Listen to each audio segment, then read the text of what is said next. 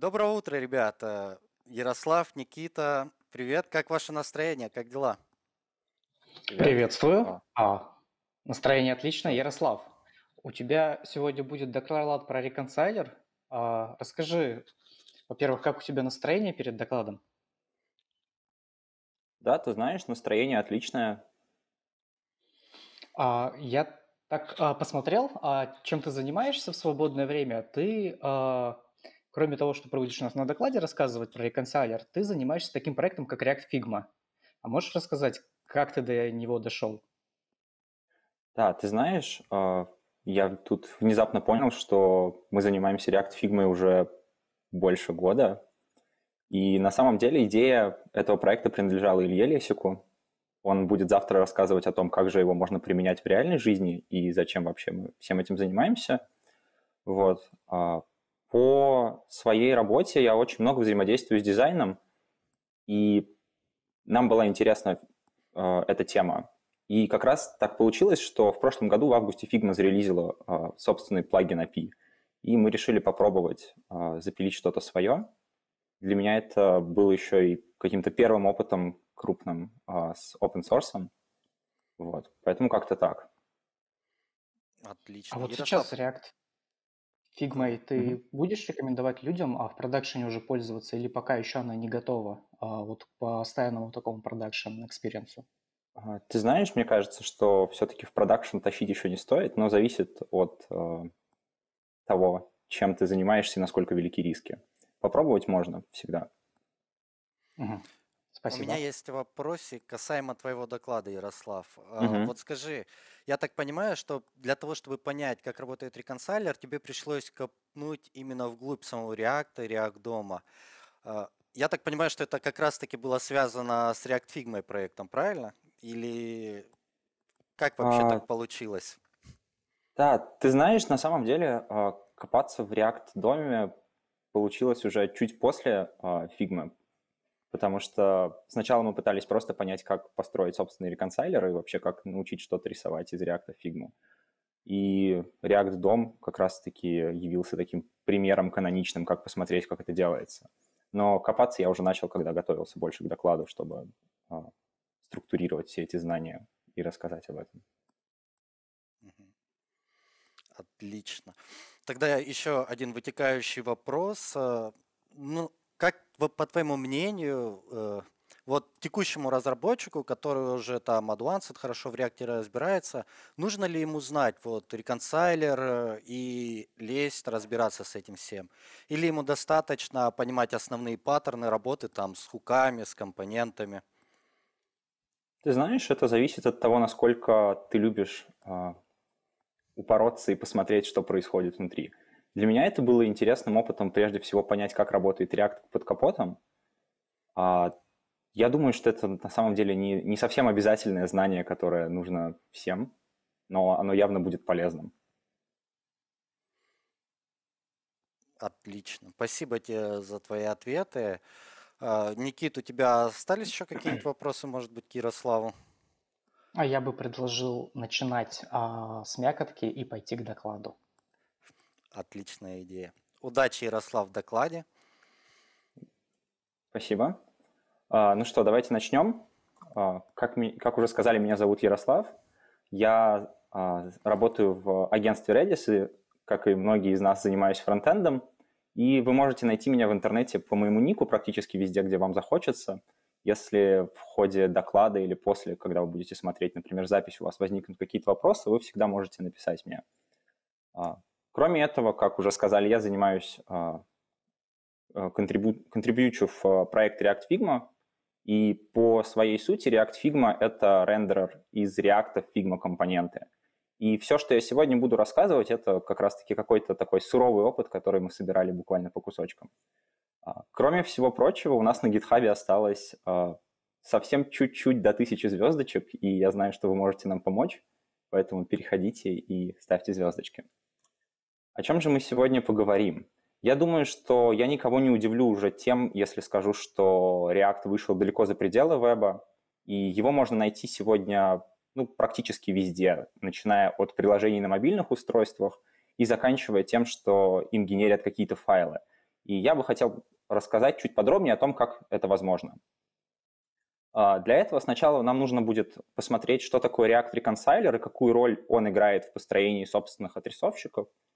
И чтобы не отходить от чего-то привычного, мы с вами посмотрим, как построить собственный рендерер на примере отрисовки React в дом.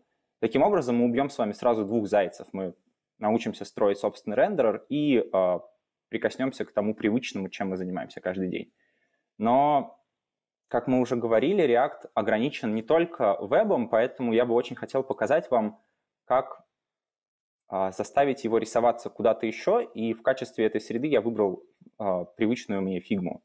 И нам нужно будет посмотреть некоторые базовые а, приемы работы с фигмой и ее API, и после этого мы с вами заадаптивим наш рендерер в, для того, чтобы он отрисовывал наши компоненты в фигму, ну и подведем некоторые итоги. Что ж, я думаю, можно а, начинать и перейти к первой секции, а именно React-реконсилятору. А, любое наше приложение в вебе всегда содержит два следующих импорта. Это React и React DOM. И вы могли долгое время писать а, даже самые сложные React-приложения и вообще не задумываться о, тем, о том, зачем нам нужно два пакета. А на самом деле ответ достаточно прост из пакета React мы тащим какую-то общую логику для любого React-приложения, то есть описываем его. Оттуда мы берем хуки или, например, какие-то компоненты, когда у нас они были классовыми. Также оттуда вытаскивается что-то для транспиляции JSX и так далее. Но когда э, приходит время отрисовать наше приложение на экран, то мы берем React DOM. И это как раз-таки отрисовщик, который отрисует наше приложение на экран. И такое гибкое разделение позволяет нам рисоваться, куда бы мы ну, куда мы только можем себе представить. А, любой отрисовщик, в том числе React DOM, представляет собой а, экземпляр реконсилятора, который сконфигурирован специальным образом для работы в среде. По сути, мы берем пакет React Reconciler с NPM, который поддерживается командой React и физически в монорепозитории React, и описываем для него специальный host config. Host config, по сути, это обычный JavaScript-объект с определенным набором методов, которые как раз-таки специфичны для среды, куда мы рисуемся. И host-config описывает, как нам доставить изменения в, в нашу среду, с которой мы работаем. Например, а, создать узел или удалить. По сути, создать свой рендер – это значит описать хост. А, немножко резюмируем. Реконсилятор является а, сам по себе UI-агностик. Он не знает ничего про то, куда мы будем отрисовываться и вообще будем ли мы отрисовываться. Его задача работать с деревьями, с какими-то древовидными представлениями и эффективно находить изменения в них. И после того, как он это сделает, он передает а, найденные изменения нашему отрисовщику. А, деление на отрисовщик и реконсилятор, оно достаточно условное, но я буду придерживаться его. И после того, как он нашел эти изменения, в игру вступает наш рендерер, который как раз-таки уже UI-dependent, и я бы даже правильнее сказал, что он является uh, host-dependent. Среда, в которой мы рисуемся, называется host environment, а компоненты, которые мы отрисовываем, хост-компонентами. И как раз-таки рендерер оперирует именно ими.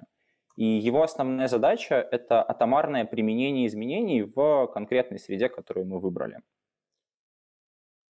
А, это такая небольшая вводная информация по реконсилятору, и теперь мы с вами а, перейдем уже непосредственно к конкретному примеру.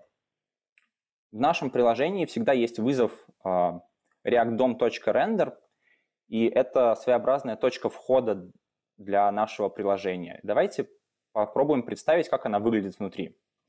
Внутри обязательно будет импорт пакета React Reconciler, и какая-то функция, которая принимает ну, минимум два параметра. Это что мы рисуем и куда рисуем. После этого нам нужно будет создать э, экземпляр реконсилятора, передав ему наш host-config. Э, пока на экране мы видим, что наш host-config пустой, но э, это временно, поскольку мы сейчас с вами вместе его будем достраивать и разбираться, что же реконсилятор ожидает там увидеть. После этого мы создаем некоторый контейнер, который связывает а, нашу физическую ноду, куда мы рисуемся, например, div контейнер, с рутовой Fiber нодой. И мы запускаем а, обновления контейнера, тем самым у нас стартует процесс первоначальной отрисовки и последующих изменений. А, у реконсилятора есть несколько режимов работы, и а, выбор режима работы зависит от особенностей среды, в которой вы рисуетесь. А, например, если ваша среда поддерживает мутацию существующих нод, то, скорее всего, вам подойдет режим мутации. Для этого нужно будет в хост-конфиге указать supports mutation true. И тогда наш реконсилятор будет оперировать методами типа append child, insert before или там commit update, примени изменения. И в таком режиме работает большая часть существующих отрисовщиков. Тот же React DOM или React Figma, о котором мы слышали, или старый React Native. И если вы не знаете, в каком режиме должен работать ваш отрисовщик, попробуйте начать с режима мутации. Но в противовес этому существуют э, среды, в которых э, деревья являются иммутабельными. И тогда наш э, отрисовщик должен работать в режиме persistence. Э, в таком случае он не э, мутирует существующие ноды, а заменяет э, детей, клонирует дерево и потом заменяет детей. Э, в таком режиме обычно сейчас работает React Native на новом движке Fabric. Кажется, они сделали это, потому что это улучшило перформанс и позволило гонять меньше информации через бридж. Или если вы захотите отрисовываться в Canvas или в консоль, скорее всего, вам тоже понадобится режим мутации. И режимы как раз-таки определяют наборы методов, которые нам нужно определить в нашем хост-конфиге. Мы с вами будем тоже работать в режиме мутации. А, кроме этого, стоит упомянуть, что все методы реконсилятора вызываются в две фазы. Первая фаза работы – это так называемая рендер-фаза. Ее задача сформировать дерево, но здесь стоит оговориться, что дерево формируется где-то в памяти таким образом, чтобы пользователь а, не видел каких-либо реальных изменений или сайд-эффектов. Потому что рендер-фазой React управляет целиком и полностью, и он может а, делать какую-то избыточную работу, прерывать ее и так далее. И часть а, вещей, которые вы здесь создадите, они могут так и остаться неиспользованными, а потом собраться garbage коллектором. После того, как это дерево построено, реконсилятор переходит в фазу комита, где а, синхронно и атомарно вносит изменения в наше представление. В случае браузера он а, типа коммитит это в дом, после чего происходит layout и repaint. Мы с вами будем разбирать все а, на, на реальном примере, поэтому я сформулирую сейчас четкую задачу. Мы будем отрисовывать React в дом представления, и поддерживать всего три вида компонентов. Это div, p и image, но нам этого хватит. И для них у нас будут поддерживаться атрибуты className, onClick и src, так называемые пропсы. А, все методы реконсилятора я разделил на несколько групп, и мы начнем с первой группы, а, с первоначальной отрисовки. Для того, чтобы нам было легче понимать, как это все работает, зафиксируемся на конкретном примере. Возьмем Следующий простой компонент а, – это обычный контейнер, в который вложена картинка и некоторый текст. И она отрисовывается как-то справа, как кружочек с какой-то надписью. Но что здесь примечательно? А, я хочу заметить, что а, div, image и p на самом деле являются так называемыми хост-компонентами, которыми будет оперировать наш рендерер. То есть Задача нашего рендера сопоставить эти хост-компоненты с конкретным компонентом в среде. Например, div с HTML div element. И то, что в React доме они совпадают с названиями HTML тегов, сделано не более чем для нашего удобства, чтобы мы не задумывались о том, что э, мы работаем там с какими-то виртуальными деревьями. Но это вовсе не обязательно, и вы можете называть ваши хост-компоненты, как вам э, захочется. Главное, чтобы они были названы в нижнем регистре. А, если посмотреть на то, как это дерево будет видеть наш реконсилятор, то, в общем-то, ничего необычного. Будет а, наш рутовый контейнер, к которому монтируется все приложение. И я попрошу обратить внимание на то, что текст а, для реконсилятора в параграфе представляется отдельной нодой. Я заготовил некоторый проект для лайфкодинга. Сейчас я покажу а, основную его структуру. На каждую группу методов у меня заготовлены специальные примеры, о которых я говорю. А, например, initial render example в точности совпадает с тем, что я сейчас показывал на слайде. И э, у нас есть э, функция render, о которой мы тоже с вами уже говорили. Она принимает два параметра и выглядит так же, как на слайде. HostConfig э, мы будем достраивать с вами по ходу э, разбора того, что делают эти методы, но часть из этих методов я уже за, заимплементил заглушками, поскольку мы э, упомянем, что они делают, но описывать нам их не обязательно. Что ж, перейдем к разбору. Э, когда наш э, реконсилятор начнет впервые рисовать дерево, то сначала будет вызван метод getRootHostContext из hostconfig. Его задача помочь нам передавать некоторую информацию, так называемый контекст, между вызовами методов. А, сам по себе хост-контекст, который мы можем видеть в сигнатуре на слайде, это обычный, обычный JavaScript-объект. Главное, чтобы а, он что-то значил для вашего отрисовщика. А, сразу оговорюсь, что здесь важно понимать, что этот контекст не имеет ничего общего с реактовым контекстом, который мы привыкли использовать, например, для передачи пропсов вниз. Мы с вами оставим этот метод заглушкой, но React DOM использует контекст, чтобы понимать, внутри какого дерева он сейчас находится. Например, а, отрисовывает ли он HTML дерево или а, рисует какую-то SVG. Тем самым он а, вычисляет namespace URI для контейнера. После того, как родительский контекст разрешен, мы переходим к обработке детей. И на детях начинает вызываться метод getChildHostContext. Он аналогичен по своей задаче предыдущему методу только вызывается для того, чтобы передавать контекст от родителя к детям. React DOM здесь просто передает контекста сверху вниз, но если он понимает, что начинается в какой-то момент отрисовка SVG дерева, то он меняет этот контекст. А, это нужно для того, чтобы потом, в момент, когда мы создаем ноды, понимать, какой метод вызывать. Если нам нужно создавать э, дом-ноду, то вызывается document create element, а если нам нужно создавать svg-ноду, то document create element namespace. Этот метод мы тоже оставим пустым, поскольку контекст нам не нужен. После этого на ребенке вызывается метод should set text content. И он является своеобразной проверкой и говорит, э, как реконсилятор должен работать с вложенным содержимым нашей ноды а точнее, нужно ли обрабатывать это как текст или как а, отдельное поддерево. В общем случае это зависит от особенностей среды и даже текстового элемент, а, типа элемента. Поясню, о чем речь.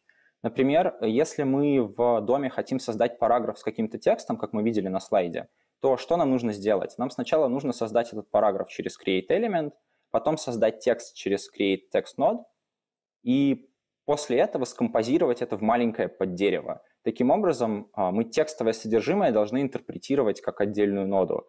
И в таком случае наш а, метод должен вернуть а, false.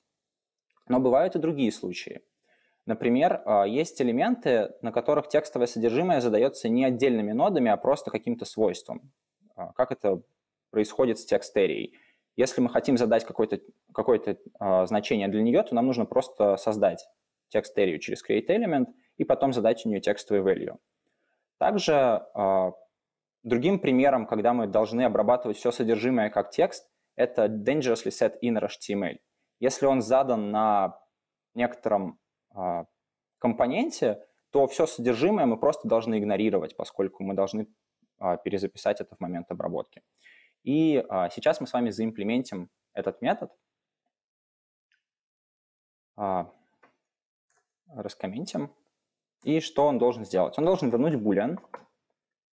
В React доме там а, существует некоторая проверка по типу компонентов, как я уже говорил. Например, а, если это текст area, или также там есть еще опшены, селекты и какие-то прочие проверки, но содержательно, я думаю, суть понятна.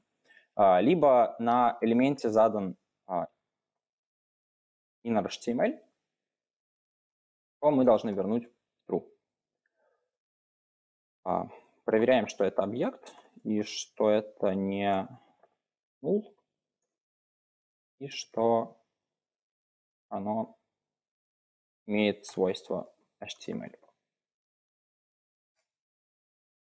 Эта проверка выглядит как-то так.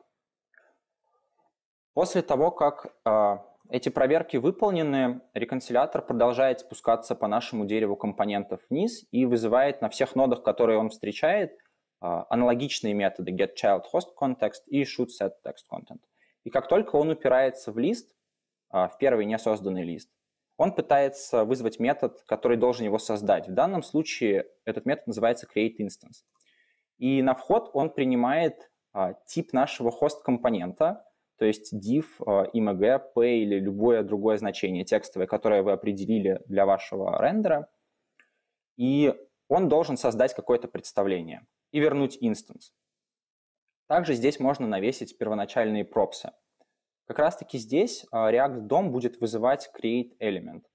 А, стоит заметить, что этот метод все еще выполняется на фазе рендера, поэтому а, во время его выполнения не должно происходить каких-либо сайд-эффектов, которые заметны пользователю из рода... Здесь не должно навешиваться каких-то обработчиков, кликов на существующий элемент или что-то рисоваться на экран.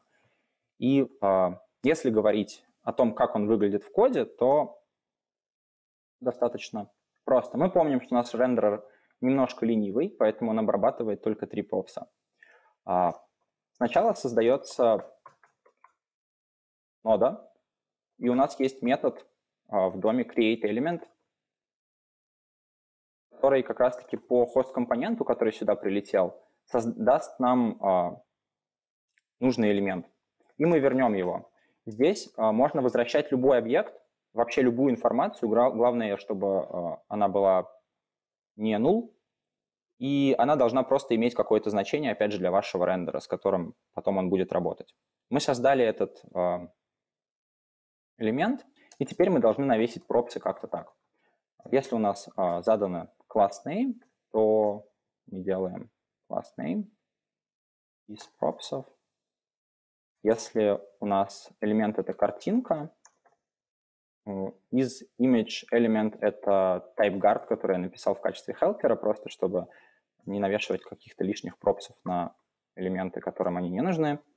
А, тогда мы присваиваем source. И если у нас задан обработчик клика, это последний проб, который мы поддерживаем, то мы на ноду должны навесить event listener. А, сейчас мы с вами создали ноду, она находится все еще а, где-то в памяти, и на экране ее нет. И а, реконсайлер продолжает обработку нашего дерева. Когда у некоторой ноды созданы все дети, а у листа детей нет по определению, то вызывается метод finalize initial children. И его задача совершить какие-то дополнительные действия после создания узла, но только с поправкой на то, что все дети уже созданы, это может быть как-то полезно. И он должен вернуть boolean. Этот boolean э, позволяет сказать реконсилятору о том, что нам нужно вернуться к обработке этого элемента еще раз после того, как он будет закомичен э, на экран. И в случае с React DOM здесь он вернет true, когда нужно сфокусироваться на элементе. То есть он нарисовался на экран, и после этого нам нужно будет вызвать element.focus. А, мы оставим это тоже заглушкой. После того, как а, левое под дерево обработано, переходим к обработке правого под дерево, аналогично разрешаем контексты, вызываем проверку и спускаемся ниже. Здесь мы видим лист, но лист другого типа, текстового. И для обработки текстовых листьев реконсилятор требует в нашем хост-конфиге метод createTextInstance. Ему на вход прилетает текст, а на выходе он должен вернуть некоторый э, экземпляр текст, Э, текстовой ноды. А в случае с домом и React домом там происходит что-то следующее. Мы делаем документ create text node с нашим текстом. И после того, как uh, созданы все дети, а у параграфа ребенок только один, создается сам родитель через метод createInstance. И после того, как создан э, родитель и созданы все его дети, дети начинают собираться, э, ну, элементы начинают собираться в маленькое поддерево, и э, на каждом из э, детей вызывается метод append initial child. Он принимает на вход родителя и ребенка и должен добавить э, вершину этому родителю. Этот метод также вызывается на рендер фазе, то есть ничего еще не появляется на экране. И в случае с э, DOM API нам достаточно на родителей вызвать просто метод appendChild с ребенком. После этого у нас опять вызывается finalize initial children, поскольку мы обработали всех детей, и продолжаем рекурсивно разматываться а, по дереву вверх, создаем также родителей, то есть div, цепляем к нему всех детей и финализируем их. И все это время мы с вами находились в рендер-фазе, то есть э, на экране еще ничего нет, все собралось только в памяти. И наш реконсилятор закончил собирать это дерево, и он готов перейти к э, фазе комита. А это значит, что сейчас мы будем атомарно доставлять наши изменения уже непосредственно на экран и отрисовывать их. Бывают случаи, когда нам нужно как-то подготовиться к этой рендер-фазе, и для этого есть метод prepare for commit. А в случае с React домом здесь он временно отключит а, систему своих событий, сохранит всякие выделения и фокусы, поскольку они могут сброситься после внесения изменений, и перейдет к фазе комита. Фаза комита при первоначальной отрисовке представляет собой вызовы методов append child to container. И он аналогичен э, содержательно методу append initial child, только лишь э, с той разницей, что, во-первых, он вызывается на контейнере, и э, бывают среды, в которые вы отрисовываетесь, где логика добавления ребенка в контейнер и просто добавления ребенка отличается. И, во-вторых, после этого метода будет появляться результат на экране. В коде он выглядит в точности так же, как и предыдущий наш метод. Мы берем контейнер и делаем append child. И после того, как мы закоммитили все изменения, у нас есть возможность как-то восстановиться после коммита, то есть сделать uh, reset after commit, например, включить систему событий, которые мы отключили на предыдущем шаге, вернуть фокусы, выборы и прочее. И наше дерево нарисовано на экране, сейчас пользователь как бы что-то уже видит, ну не что-то, а наше приложение. Но мы помним, что у нас была необходимость вернуться к некоторым элементам после того, как они нарисованы на экране. И на всех элементах, которые в функции finalize initial children вернули true, реконсилятор вернется и вызовет для них метод commit mount, как раз-таки который а, существует для того, чтобы совершить какую-то дополнительную обработку узлов после отрисовки мы с вами э, сейчас можем посмотреть, что наше приложение, которое мы делали, оно отрисовывается на экране, и как раз-таки навешиваются все пропсы, которые мы указали. При первоначальной отрисовке происходило достаточно много всего, поэтому мы э, с вами сделаем, э, резюмируем еще раз то, о чем мы говорили. Как обрабатывается дерево. Сначала мы спускаемся вниз по дереву и вычисляем а, контексты, передаем их от вызова к вызову и выполняем проверки should set text content, чтобы вообще понимать, стоит ли идти вниз или это уже лист. Когда мы дошли до листа, мы вызываем методы create instance или create text instance, чтобы создать их. И когда созданы все дети некоторого родителя, создается сам родитель. После этого дети присоединяются к этому родителю, и под дерево финализируется. Мы продолжаем разматываться рекурсивно вверх, и когда все дерево а, построено в памяти, мы готовы перейти к фазе комита.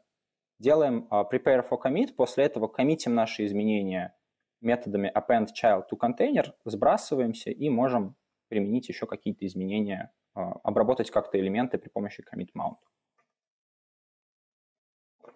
Все это очень э, завораживающе и весело, но немного непонятно, зачем нам писать свой рендерер и вообще зачем нам использовать React, если мы не умеем обрабатывать изменения. Следующая группа методов, о которых мы э, поговорим, это отрисовка изменений. И я поделил их еще на подгруппы, поэтому первая подгруппа будет изменение пропсов. У нас будет следующий пример, на котором мы будем это разбирать. Есть некоторый div, э, в котором рисуются три компонента item. Каждый из этих компонентов, в свою очередь, рендерит одну лишь картинку.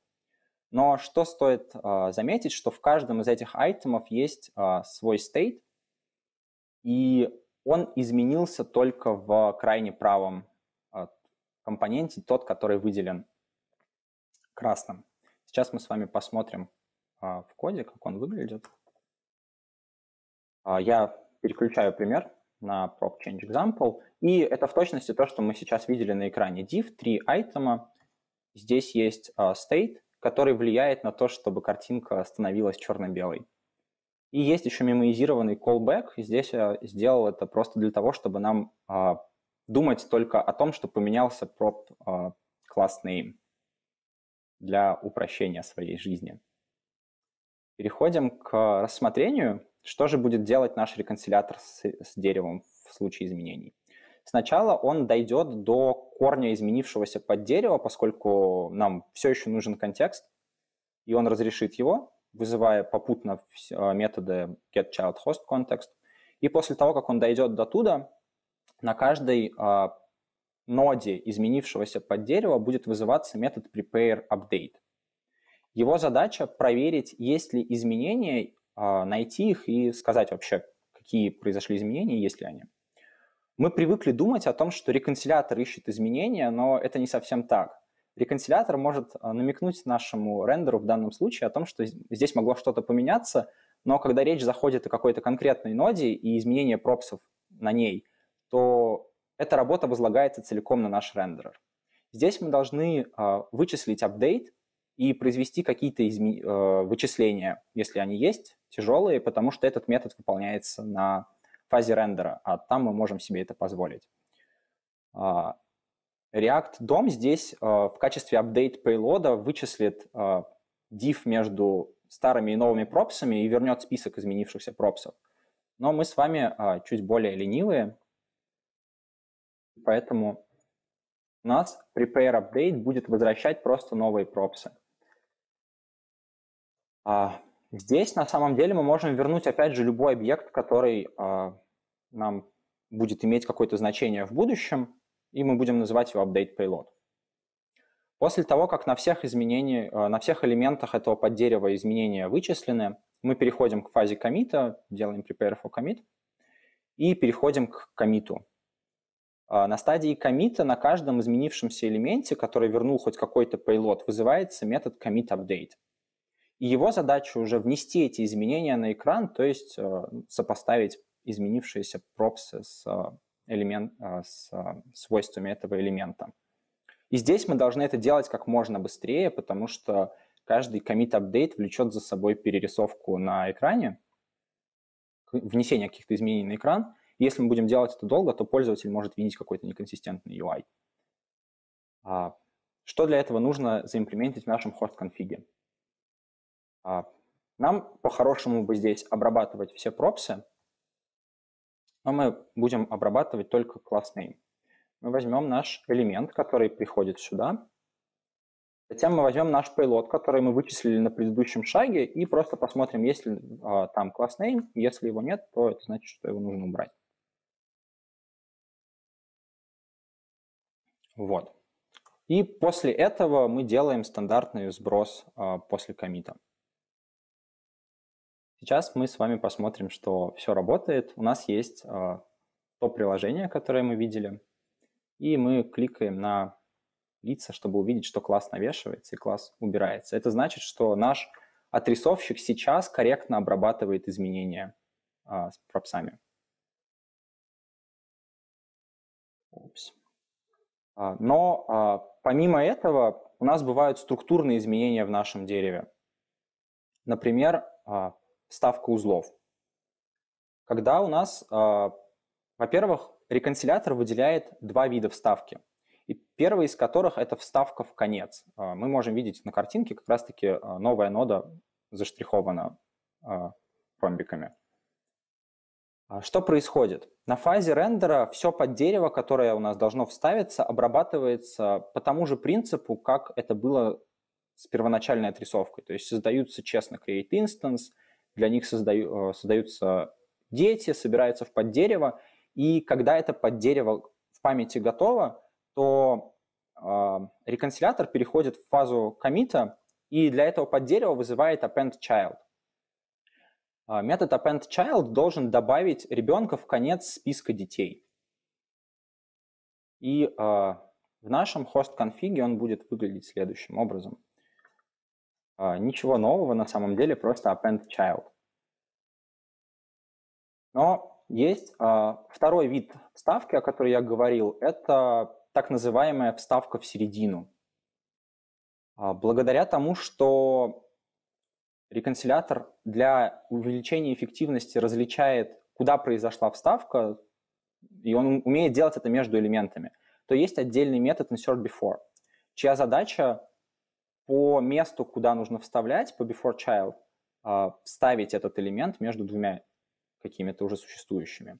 И а, еще примечание, что этот метод на самом деле используется не только для вставки, но и для а, переупорядочивания нод. Если какие-то две ноды уже существуют, и они просто поменялись местами, реконсилятор это понял, он также вызовет метод insertBefore.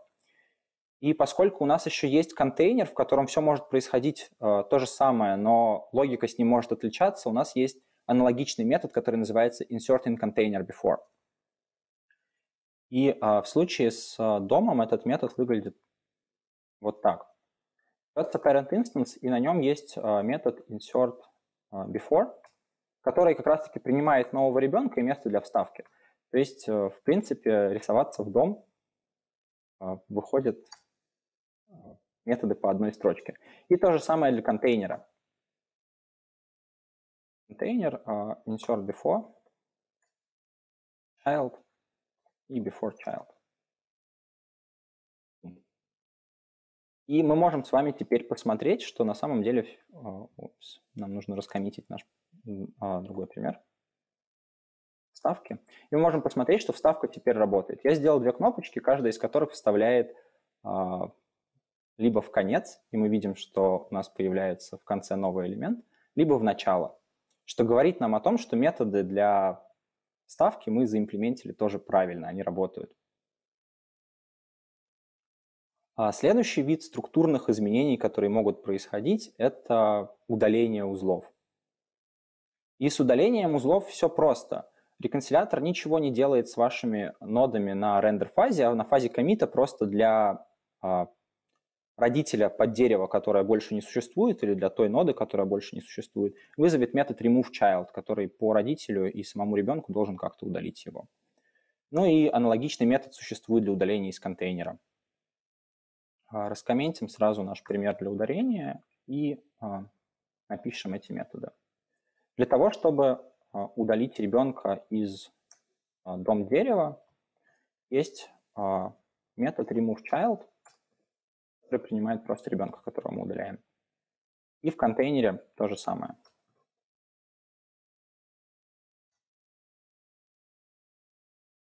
Да.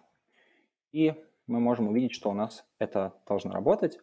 Есть э, также наши элементы, и они просто удаляются. Это некоторый массив. Вот. И у нас с вами остался последний вид изменений, поскольку наш а, реконсилятор, наш рендерер поддерживает отдельные текстовые листья, то нам нужно а, научить реконсилятор как-то обновлять эти текстовые листья. И если а, в ходе работы вашего приложения случилось такое изменение, например, у параграфа поменялся текст внутри, то на этой текстовой ноде вызывается метод commit text update. Он принимает текст instance и старый новый текст и должен внести это в наше представление, закоммитить его. А, для того, чтобы сделать это в доме, достаточно вызвать text instance node value new text и uh, раскомментить пример с текст апдейтом. Пример заключается просто в том, что есть какой-то счетчик, который по клику инкрементится. Мы видим, что цифры увеличиваются. И таким образом, на самом деле, мы с вами разобрали большую часть методов, которые мы можем заимплементить для нашего рендера. И сейчас наш э, отрисовщик умеет, в принципе, рисовать рабочее приложение, но понятное дело, что мы поговорили не обо всем. И рассказывать обо всем будет достаточно долго, поэтому я просто упомяну, что же еще осталось. Мы не посмотрели методы, которые можно заимплементить в хост-конфиге для поддержки гидрации. Мы с вами привыкли видеть э, гидрацию в вебе, но на самом деле реконсилятор позволяет заимплементить ее для любой среды. Также мы не поговорили о том, а, какие методы имплементить в persistence режиме, и еще мы не поговорили с вами о поддержке тестовых селекторов. Все это можно посмотреть по ссылочке. А, все ссылки, код и слайды, они будут в конце а, в материалах. В пакете React Reconciler есть, в принципе, примеры всего этого. Мы с вами закончили с React домом, и теперь перейдем к Figma. И для того, чтобы нам научиться рисовать Figma, мы попробуем немножко разобраться о том, что это такое и как она работает. Если кто-то вдруг не слышал, то Figma — это векторный редактор, он стремительно развивается за последние несколько лет, и для нас, как для разработчиков, он очень стал интересен с 2019 года, поскольку мы можем писать плагины. Плагин э, для Figma — это обычный JavaScript файл, а это значит, что нам доступна привычная нам экосистема в виде бандлеров, библиотек и прочего, ну, почти, э, поскольку там есть некоторые ограничения. И кроме всего прочего, приятным бонусом будет то, что Figma поддерживает, э, поставляет официальные тайпинги на TypeScript. Немного общей информации о том, как выполняется наш плагин в Figma. У нас есть Sandbox, котором выполняется основной код нашего плагина, и из Sandbox ваш плагин имеет доступ к документу, ко всем слоям, э, которые создал пользователь. Он может управлять выделением и всему прочему – но он абсолютно не имеет никакого доступа к сети и прочему. Но в свою очередь плагин может иметь э, некоторый UI, который выполняется в отдельном iframe, и в этом iframe мы уже имеем доступ к браузерному API, в том числе к тому, чтобы делать э, сетевые запросы. И они взаимодействуют при помощи PostMessage. Мы с вами сегодня будем работать только в сэндбоксе, но я думаю, это будет просто полезно знать. И про Figma API можно говорить достаточно долго, но я думаю, что лучше я просто покажу какие-то основные методы, которые нам понадобятся. И если у вас возникнут вопросы, вы всегда можете посмотреть это в документации. А, так, возьмем Figma. Ага. И а, у Figma есть консоль, в которой мы можем экспериментировать. Эта консоль а, является в точности той, которую мы привыкли видеть в Chrome. Чтобы получить доступ к API Figma, Figma дает нам глобальный объект Figma, на котором э, есть большое количество методов, с которыми мы будем работать. Чтобы создать какой-то элемент э, на экране, например, прямоугольник, э, на объекте Figma есть методы с префиксом create, например, create rectangle. Здесь сразу обращу внимание, что все не так хорошо, и в отличие от дома элемент создается сразу на экране. Это значит, что а, при создании мы будем порождать какие-то сайд-эффекты. А, у элементов каждый элемент имеет собственный тип, например, прямоугольник имеет тип rectangle node и имплементит какие-то специфичные для него вещи, например, там ширину, высоту и, и прочее. Нам может понадобиться изменять эти элементы в размере, и для этого на элементах есть метод resize, который принимает а, новую геометрию. Мы видим, что квадрат стал прямоугольником. И если мы хотим посмотреть существующие какие-то свойства, мы можем посмотреть, например, rectangle.width. А также нам может хотеться перекрашивать наши а, примитивы в какие-то цвета. И для этого у нас есть свойство fills, но в Figma оно хранится достаточно хитро. Заливки в Figma хранятся как массив этих самых заливок, а, с некоторым типом, например, а, градиент или сплошная заливка, а цвет нормируется от нуля до единицы. На самом деле на это особо не стоит обращать внимание, нам это не так важно, но просто для какой-то общей информации. И наш прямоугольник перекрасился. Также нам может понадобиться двигать э, прямоугольники по экрану, и для этого мы можем просто менять э, x и y. Э, подвинулся. Также прямоугольниками все не ограничивается. Есть, например, эллипс. И мы помним, что наш реконсилятор оперирует, и вообще React оперирует деревьями, поэтому нам хотелось бы узнать, что же в фигме с деревьями. Figma поддерживает древовидные структуры, для этого есть элементы специального типа, и один из них — это frame. Frame — это, по сути, некоторый контейнер прямоугольный, который может вмещать в себя элементы. А, мы его сразу ресайзнем под больший размер, поскольку размеры фрейма в фигме определяются, не определяются содержимым. И мы можем добавлять детей. Чтобы добавить э, фрейму ребенка, есть метод appendChild. Мы добавим туда еще наш э, кружок. И мы можем посмотреть список детей э, через свойство children. Мы видим, что там сейчас лежит rectangle, node и ellipse. И мы помним, что у реконсилятора, когда мы писали наш хост конфиг, был еще метод, который позволял вставлять что-то в середину, а не в конец. И Figma тоже это умеет. А, попробуем создать какой-нибудь элемент типа звездочки. Мы его сейчас не видим, потому что он перекрылся, а, он попал под существующий слой. И для этого есть а, метод insert child, который вместо ребенка, как в доме, принимает индекс, куда нужно вставлять. И наша звезда а, вставилась, но она все еще ниже, чем, а, упс, ниже, чем существующие элементы. И мы можем это увидеть еще и в массиве детей, что звездочка стала первой. И когда нам все надоело и мы хотим что-то удалить, то мы просто на ребенке удаляем, а, вызываем remove, и удаляется все это под дерево. И это, в принципе, все, что нам достаточно знать про Figma и Figma API, чтобы начать имплементить свой рендерер. И давайте поставим с вами а, конкретную задачу. Мы с вами рисуем React в Figma и поддерживаем следующие хост-компоненты. Это frame, который мы сейчас видели, rectangle и текст. И для них мы поддерживаем атрибуты в виде позиции на экране, это x, y, геометрии, width, heights и заливки background color. А, так, а, сейчас нужно немножко времени. Я переключусь между проектами. Угу. Да. И, и, ум.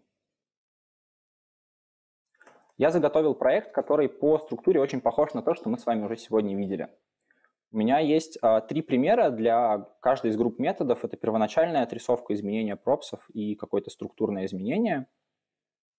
А, initial render example теперь а, выглядит иначе. Это frame, в который вложен прямоугольник и текст. И мы видим, что мы все еще находимся в React, но наши дивы куда-то пропали. Теперь мы работаем с новыми хост-компонентами frame, текст и rectangle. И я копернул а, тот рендерер, который мы писали с вами для дома, чтобы показать, а, как быстро можно заадаптивить а, один рендер в другой. А, мы сейчас закомментим все, что не связано с первоначальной отрисовкой, и будем делать это постепенно. Начнем а, переписывать наш хост конфиг с метода shootSetTextContent. А, этот метод говорил нам о том, как работать с сложенным текстом, и мы будем поддерживать текст только на хост-компоненте текст. Если хост-компонент имеет тип текст, значит, что все, что в него вложено, будет рассматриваться как текст. А, create instance, который сопоставляет наш хост-компонент с реальным компонентом, будет выглядеть теперь чуть иначе – поскольку в фигме нет такой удобной фабрики, в которую можно сразу засунуть тип элемента, то это будет выглядеть как-то так. Мы создаем ноду и ретернем ее.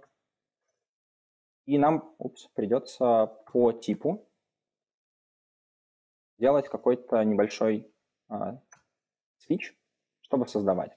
Например, если тип хост компонента в frame, то мы должны вызвать честно figma create frame, если тип компонента это rectangle, мы должны вызвать метод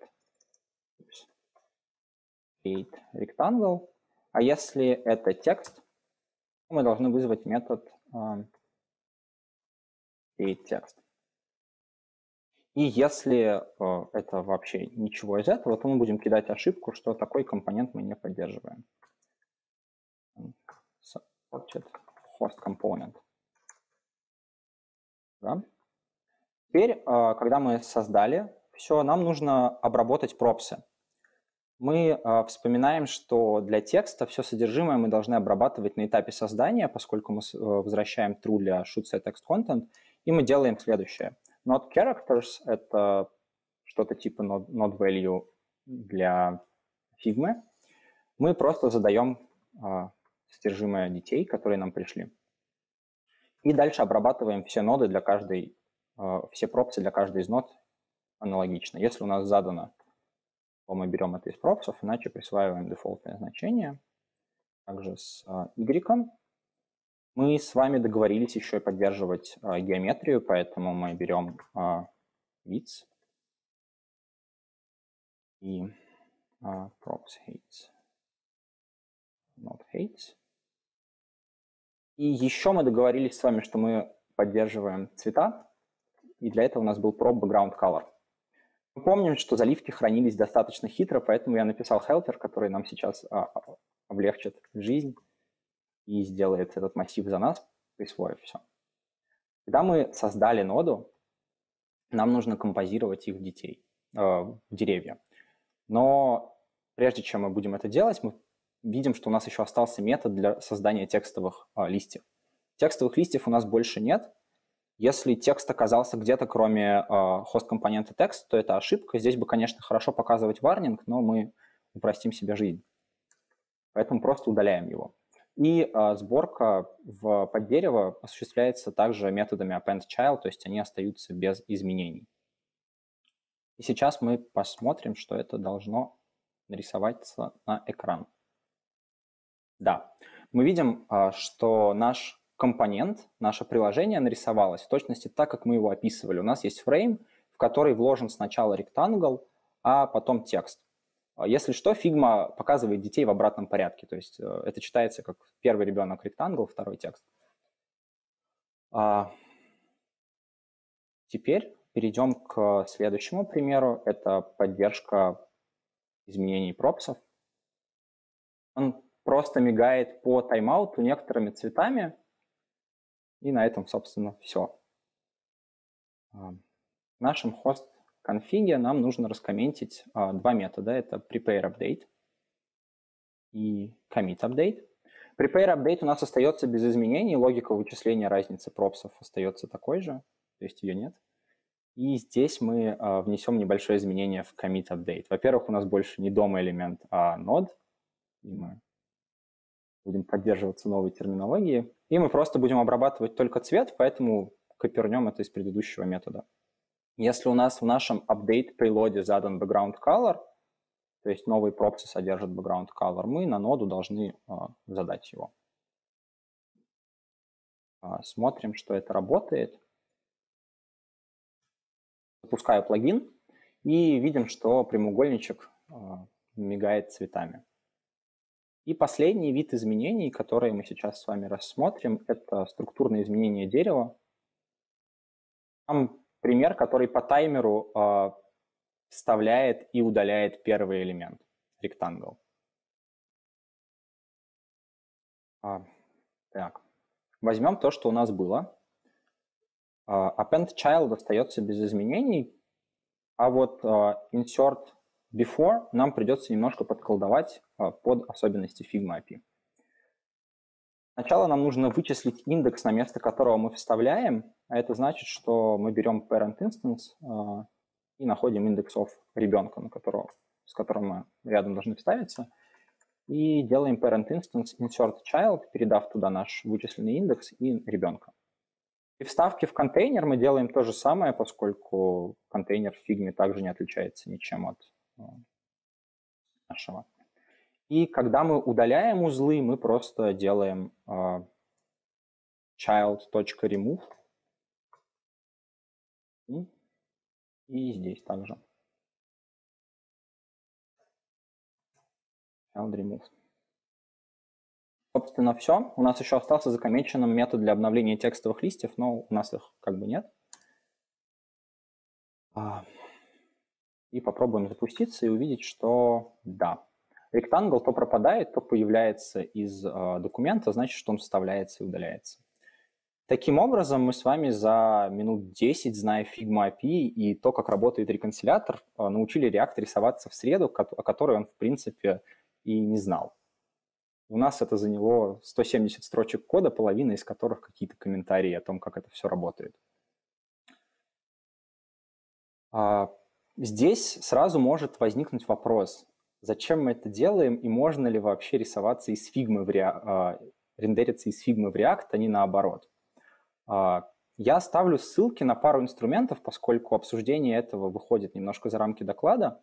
Первый из них это Figma to Code. Он позволяет конвертить Figma дизайн в Flutter, Tailwind и Swift UI. второй инструмент, который я бы посоветовал посмотреть, это Overlay. Он генерит а, по Figma и Sketch компоненты в React и Vue. И на прошлой холле был доклад а, Figma to React, доставка дизайна в код.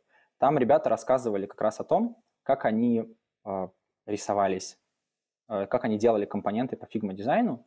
Но стоит сразу оговориться, что на первый взгляд нет особо хороших технологий алгоритмов, которые позволяли бы действительно заниматься кодогенерацией, особенно когда вам нужно не просто единожды нарисовать все, а внести какие-то изменения в то, что уже есть.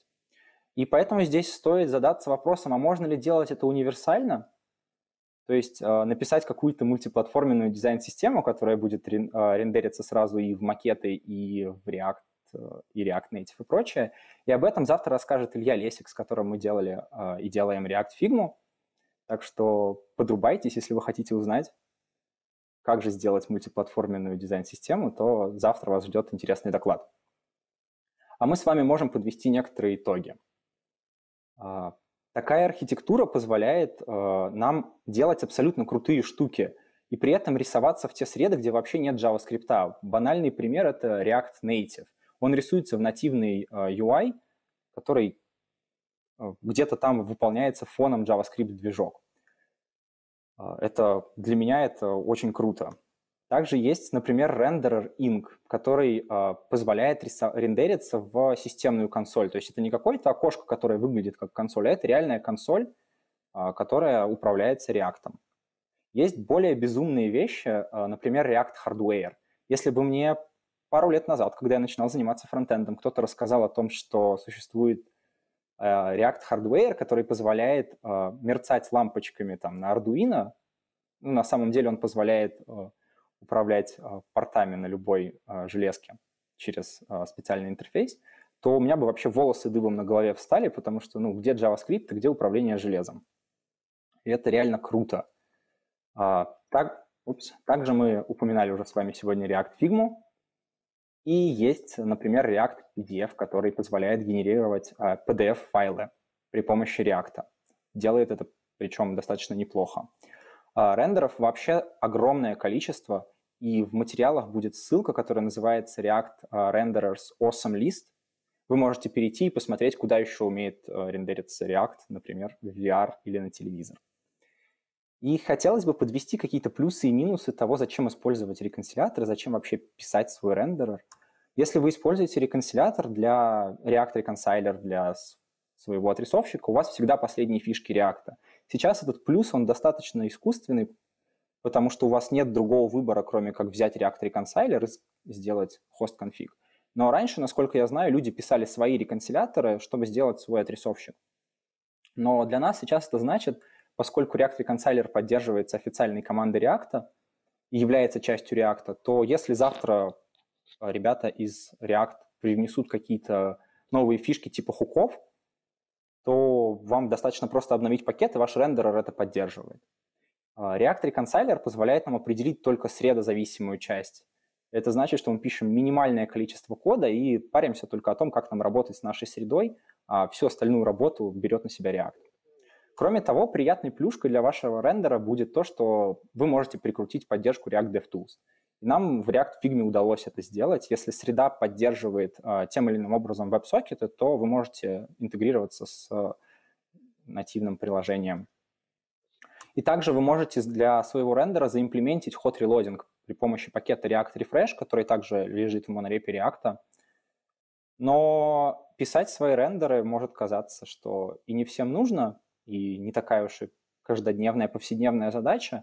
И зачем это делать? А, для меня основным плюсом и задачей, зачем это делать, это то, что нам это даст лучшее понимание того, как а, работает React. Это значит, что мы сможем писать а, в повседневной жизни наше приложение и код более эффективно. Ну и плюс это достаточно весело, когда вы еще сможете так, таким заниматься. Есть в этом и свои минусы. И первый минус – это мало документации, и э, это уже э, практически не минус, начиная с предыдущей недели, поскольку ребята из React сделали реально клевую документацию про то, как писать свои рендеры. Но это одновременный плюс, потому что отсутствие документации как таковой толкает вас на то, чтобы читать э, исходные коды, в том числе React, а, React дома, React, React Native и прочих рендеров. То есть вы снова углубляетесь в тот инструмент, с которым вы работаете каждый день. А, есть минус то, что разработчики React в открытую говорят, а, что реконсайлер стоит использовать на свой риск. То есть они обещают стараться придерживаться обратной совместимости, но никто вам ее не гарантирует, поскольку это все еще какая-то внутренняя вещь React. И иногда интегрироваться с host environment достаточно сложно. Сегодня у нас все было просто, и, казалось бы, никаких проблем с этим нет. Но даже с той же фигмой там есть проблемы, которые мы аккуратненько просто обошли. А, и если вам понравилось или заинтересовало, и вы хотите дальше углубиться в эту тему, то что я советую?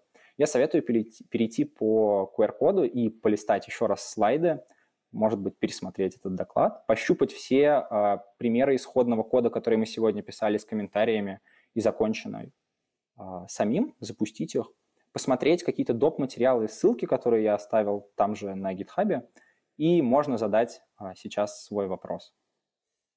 Вот. Так, а, Ярослав, большущее тебе спасибо за очень крутой доклад и детализированный. Вот, пока Ярослав переводит дух, я напоминаю, что под трансляцией есть ссылка на чатик, и там можно задать свой вопрос.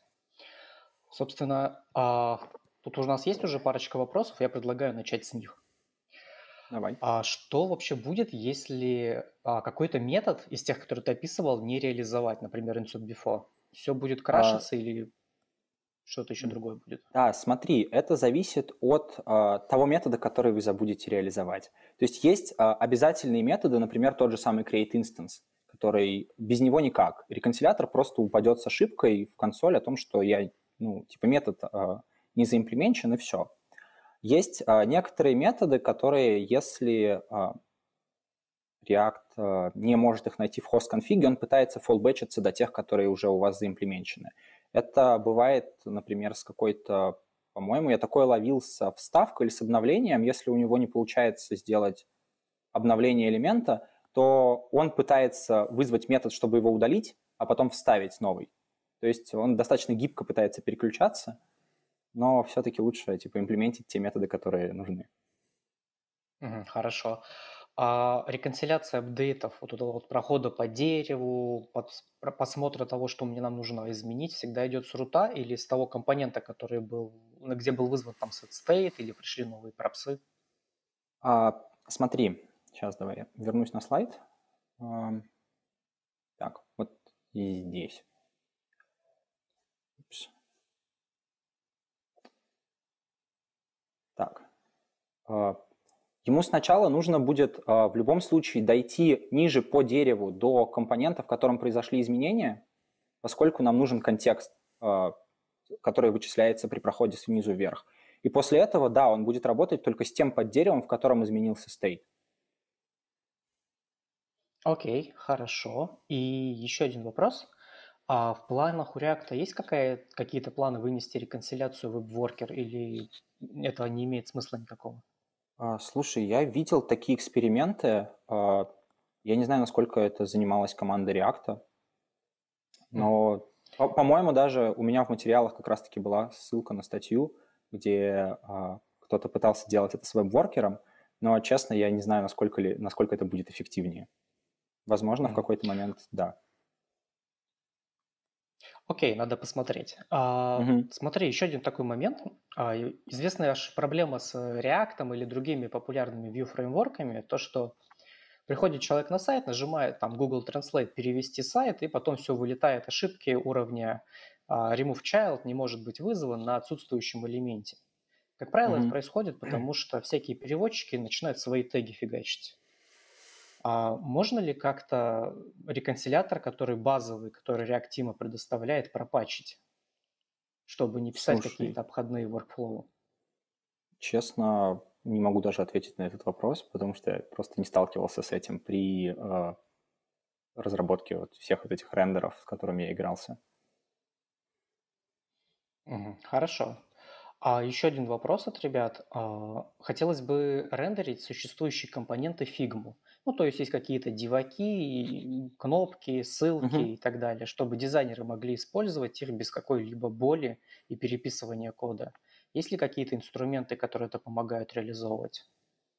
А, да, вот на самом деле Илья завтра как раз-таки будет рассказывать, как это делать, но если вкратце, то нам нужен будет а, алиасинг, чтобы подсовывать разные рендеры, но там проблема в том, что дивы и прочее все равно желательно э, абстрагировать в компоненты, типа которыми оперирует э, React Native из рода view, текст и прочее. И для них уже делать стайл-шиты. То есть тот э, вариант, который есть сейчас, взять просто код React дома и отрисовать в Figma, на данный момент этого нет. Ну, то есть там, получается, нужно, нужно создать какую-то прослойку а, да. между сущностями HTML-кода и сущностями Figma, которая будет унифицирована а она уже внутри себя разруливает, во что это превращать. Да, все правильно. Угу. А не будет ли таких проблем, что нужно будет еще какие-то пропсы дополнительные описывать для фигмы специфические, какие-то пропсы только для HTML-кода специфические? А, да, такая проблема действительно может быть, но часть из этого возьмет на себя рендерер, который как раз-таки... То есть здесь Вопрос в том, что рендерер тоже должен поддерживать какой-то там универсальный API для этого. Мы в React Figma выбрали для этого совместимость с API React Native, с React Native. Mm-hmm. И там бывают какие-то платформозависимые вещи, которые приходится прям, типа, в зависимости от платформы э, пробрасывать. А такое приходится разруливать на уровне э, рендера, или если ты хочешь поддерживать какой-то свой middleware внутри своего кода? Ну, внутри своего кода тоже такое бывает, да. Угу. Окей, спасибо. У меня есть еще один вопросик, позволишь, Никит? Пока Давай. у нас время осталось. Смотри, а как дела обстоят, если мы там используем э, Styled Components, либо SAS, либо SCSS? Да, на самом деле никак, потому что тебе э, Опять же, это все зависит от того, как э, твой рендерер выбирает работу со стилями. Э, ты можешь выбрать какой-то единый API, например, у React Native есть style sheet, и если типа, ты умеешь работать со style sheet, тогда э, можно это поддерживать. Ну, то есть из коробки там взять э, styled components не получится, придется все-таки что-то дорабатывать, э, что-то делать, чтобы это поддерживал я так понимаю, реконсайлер. А, скорее рендерер, да. Ну, рендерер, да. Угу. Ясно. Ну что ж, ребят, к сожалению, наше время подходит к концу. Никита, Ярослав, большое спасибо вам за отличный доклад. Сейчас вы переместитесь в дискуссионную зону. Ребят, кто нас смотрит, тоже подключайтесь в дискуссионную зону. Там вы сможете хорошо уже помочь Ярослава и Никиту своими вопросами. Я думаю, это будет интересно. Э, желаю вам удачи в дискуссионной зоне. А мы будем продолжать. Большое спасибо, ребят. Пока. Ну, всем да, спасибо. Пока. пока.